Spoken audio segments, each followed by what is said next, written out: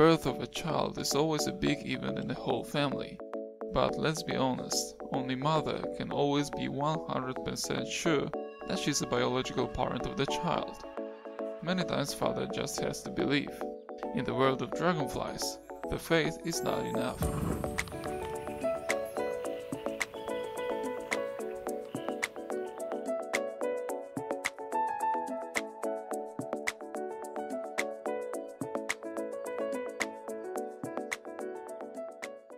In many species of these animals, very popular is guarding the female by the male to make sure that his children will come into the world.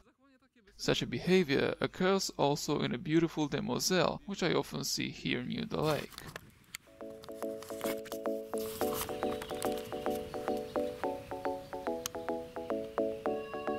But what do males do and why do they behave like that?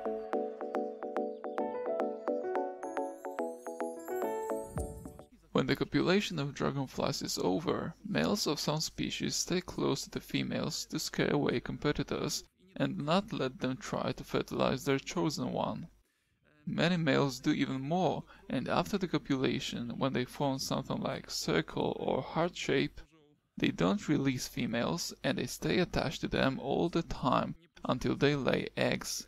What happens after a short break for rest? It doesn't even disturb them in flying, and they form characteristic tandem in the air.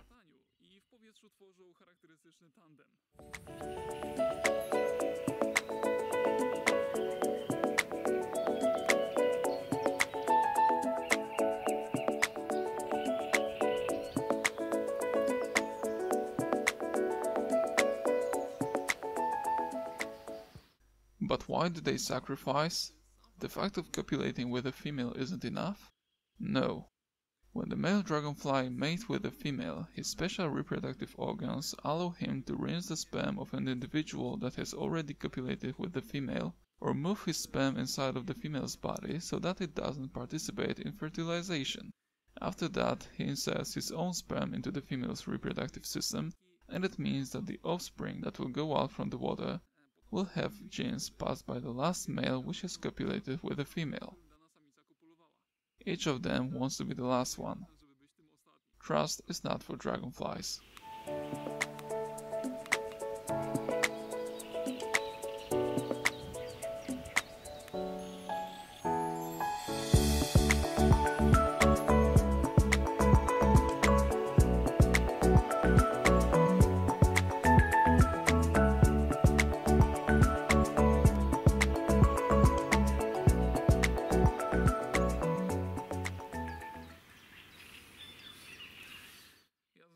Will stay here for a while, but I encourage you to subscribe to the channel.